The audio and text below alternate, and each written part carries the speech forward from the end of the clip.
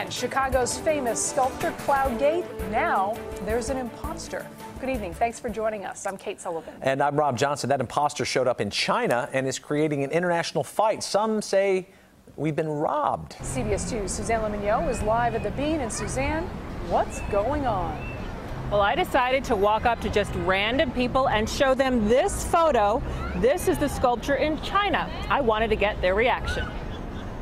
I'm going to show you a picture, and I want you to tell me what you think this looks like. What is this? That is the bean. It looks like what I'm standing in front of.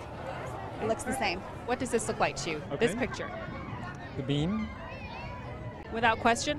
without question.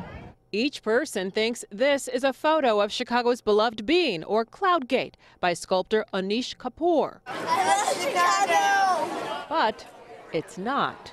It does look like a copy, but it does have something else obviously in the picture. A little different. Yes, it does. I would understand like why they would kind of like go and like try to take legal action at it, but it's um yeah, it, it resembles a lot about the beans. Kapoor thinks the so called Chinese oil bubble sculpture in Karamay resembles his work too.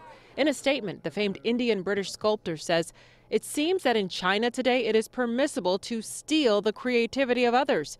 I feel I must take this to the highest level and pursue those responsible in the courts. I hope that the mayor of Chicago will join me in this action.